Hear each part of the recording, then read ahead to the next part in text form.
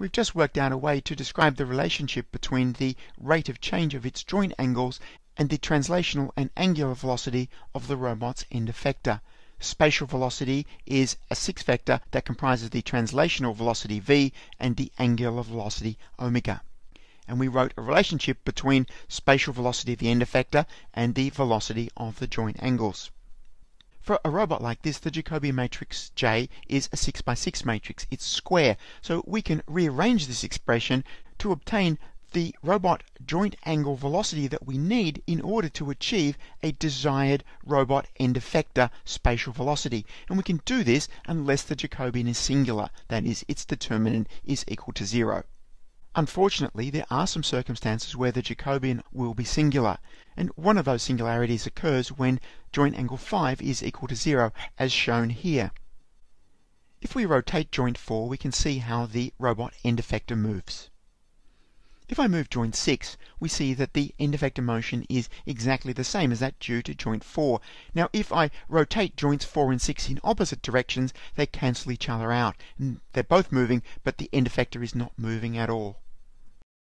Following on from the earlier example, we can test the determinant of the Jacobian matrix for the joint angle configuration Qn. And here we can see the determinant, and it's not equal to zero. It means I can then invert the Jacobian matrix, and this is what the inverse Jacobian looks like.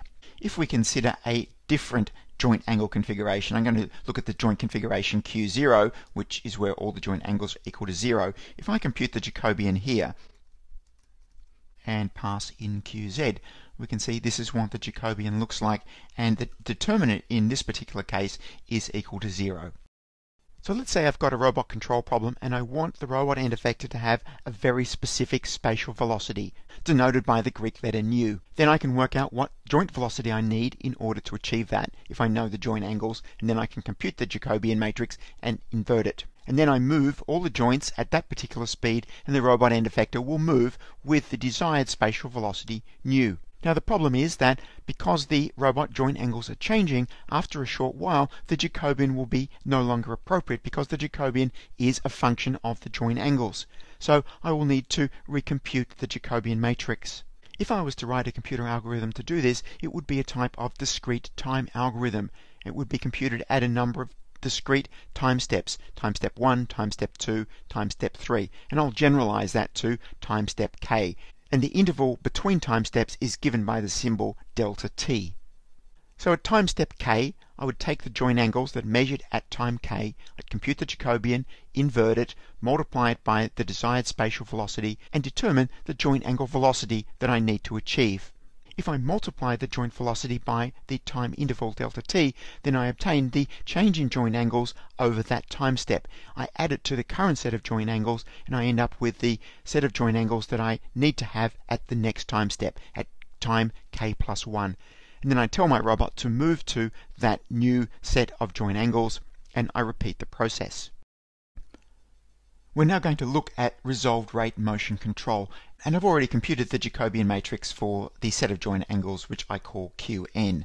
Now what I want to do is to specify the spatial velocity that I want my robot to have. I'm going to put that into a variable called nu, which is the Greek letter that I use to denote spatial velocity, and I'm going to ask for a spatial velocity of 0 in the x, 0 in the y, 1 unit per second in the z direction, and no angular velocity. And I'm going to put that into a column vector. So there we have it. If I now multiply the inverse of the Jacobian by the desired spatial velocity, and what I have here is the joint angle velocity vector.